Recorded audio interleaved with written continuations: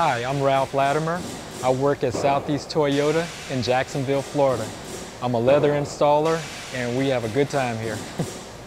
in my department, we take the uh, fabric off the cars and we reinstall it with the leather that comes in from our vendors and suppliers that we send out to the dealerships.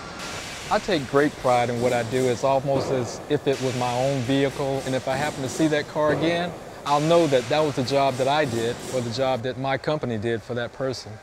My military experience when I came here to JM Family, I had discipline.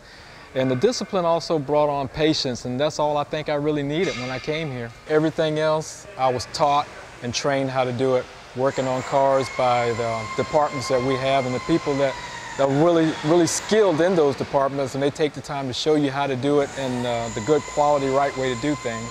Well, I've been here at Southeast Toyota now for 28 years, and the reason why I guess I've probably stayed is because of the training I received, the, uh, the way people treat me here at this company, from the uh, higher management all the way down to the associates that run with me on the line. I can't think of any company that would do the things that JM Family has done for me since I've been here.